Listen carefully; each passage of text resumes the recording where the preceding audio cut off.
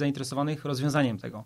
Także wybieram myśleć, że 2050 będzie rokiem w którym nie będziemy musieli się zmagać z wieloma innymi rzeczami, z wieloma rzeczami, z którymi się zmagamy obecnie. Pewnie przyjdą jakieś nowe wyzwania, ale jeżeli chodzi o tą konkretnie sferę biznesu i to, o czym rozmawiamy, to wydaje mi się, że to będzie bardzo taki spłaszczony świat, bardzo przejrzysty, w którym transparentność jest odpowiedzią na wiele różnych patologii. Bo tam wszędzie, gdzie jest dużo działalności w jakichś cieniach, dużo działalności w jakimś takim półmroku, gdzie są jacyś ludzie, którzy załatwiają jakieś interesy, gdzie nie ma accountability, e, to, to dzieją się różne dziwne, patologiczne rzeczy, tak? E, to bez względu na to, o jakim środowisku mówimy. Po prostu taka jest generalnie zasada. No, jako ludzie z jednej strony jesteśmy zdolni do wspaniałych rzeczy, a z drugiej strony jesteśmy zdolni do mrocznych rzeczy. Ja i wy również, tak?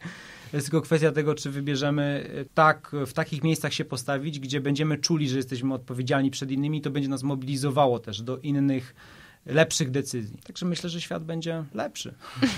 Bardzo pozytywne to było. Ja bym chciała tylko dopowiedzieć do tego, co powiedziałeś Bartek, bo cały czas miałam w głowie takie...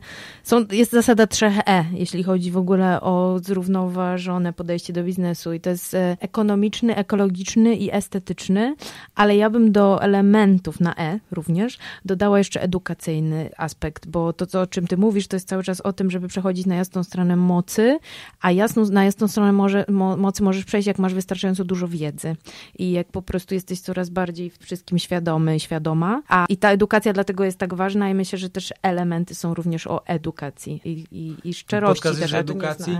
No, de facto po prostu razem z tą demokratyzacją mediów komunikujecie, ludzie tego słuchają, idee się rozprzestrzeniają.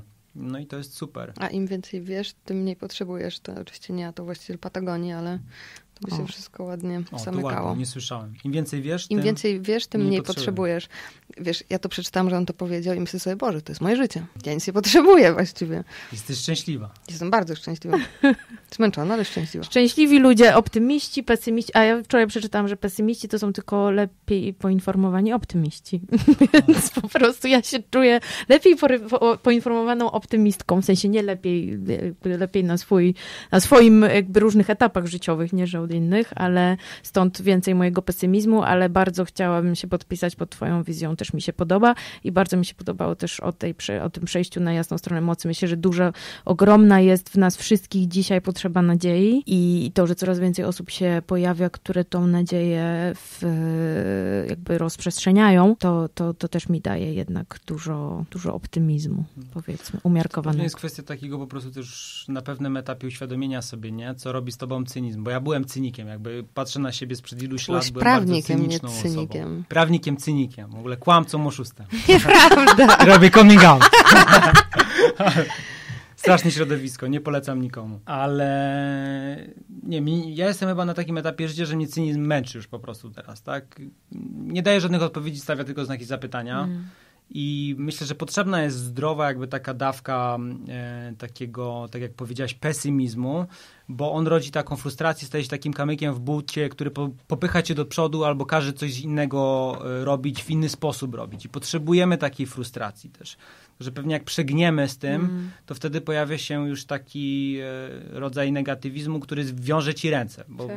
wtedy masz taką fatalistyczną wizję rzeczywistości, że już absolutnie nic od ciebie nie zależy, w zasadzie nie ma znaczenia to, co robisz, a to jest ślepy zaułek. No bo to raczej wpycha cię w taki... z y, terapią trochę, że świat powinien być na terapii, że jakby dojdziesz do, do dopiero jak dojdziesz do dna, to możesz się z niego odbić, nie? I, i, I ja myślę, że my teraz przechodzimy taką, albo jesteśmy przed terapią dopiero, a terapia będzie takim recovery z tego syfu, nie? Ale jakby musimy jeszcze gdzieś pewnie jeszcze trochę zniszczyć, żeby potem się odbić, ale ja bym już najchętniej wyhamowała. No dobra, dzięki. Coś tam się wytnie, coś się zostawi. Dziękujemy bardzo. Dziękujemy bardzo. Dzięki Bartek. Do zobaczenia. Do usłyszenia. Do usłyszenia.